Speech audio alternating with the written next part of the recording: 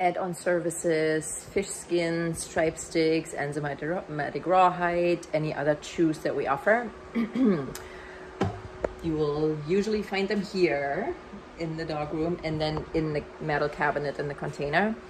If any of those haven't been filled, there's usually a big pile of them in the reception uh, behind the bar there on the little table where the treats are. So you can always refill them if you see that they're out of stock. Very helpful, thank you. Um, but if you have any of those services to give, then you want to just get the appropriate chew and you want to make sure that that dog is separated in a crate or outside, right? So if that dog, and we often, I often give chews to puppies that are here, even if they haven't added on any of those. That's kind of part of a puppy board and train, especially when a puppy isn't so used to staying in a crate yet. And we want to make it positive for them.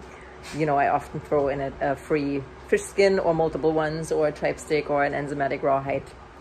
Um, but if somebody's booked it, we want to make sure they get it so we always want to put the dog in a crate or if everyone else is outside inside already, we could leave that dog on the on the deck, for example, for a few more minutes and give them a chew there. Or you could even administer administer, you could even give it at the end of the feeding time when the dogs are still in crates. So then the dog could then get a chew there while they're probably waiting until all the training sessions are done and stuff anyways. So in this case, Tyson is getting a fish skin I've got my fish skin. I got my Tyson here in a crate. And I'll just give it to him and let him chew it. okay. And then, you know, very rarely it happens that the, the dog will actually become protective of the fish skin, of the chew, because everyone else will want to go and watch.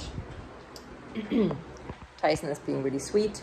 If that happens, you could always just grab a towel and hang the towel in front of the crate so that they they don't feel disturbed or they don't feel like another dog is trying to get this the, the treat from them, the chew from them.